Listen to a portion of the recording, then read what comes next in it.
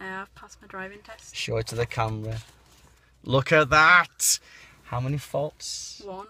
How does it feel? Pretty good. Pretty good indeed. It was eventful, wasn't it? It was. Two examiners in the car. Yeah. Two manoeuvres. Uh, money's worth, unfortunately. um, listen, well done. Thank okay. you. Thanks for much, Thank Chelsea.